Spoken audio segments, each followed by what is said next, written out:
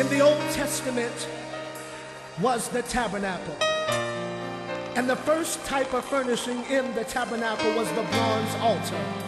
It was here where the high priest would take an innocent animal and slay it for the sins of the people. But now we don't have to kill a lamb anymore. For Jesus has taken the place of the lamb. For worthy is the lamb that was slain before the foundation of this world. That's why we worship.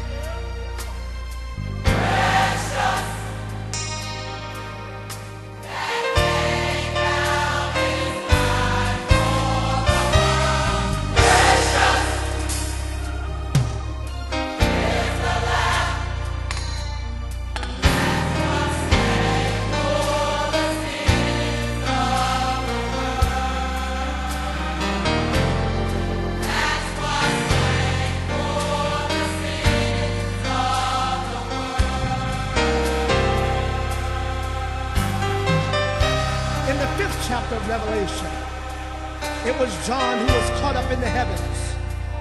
And John began to weep, for there was no man in heaven, no man in the earth, no man under the earth that was worthy enough to open the book. And one of the elders said to John, Weep not.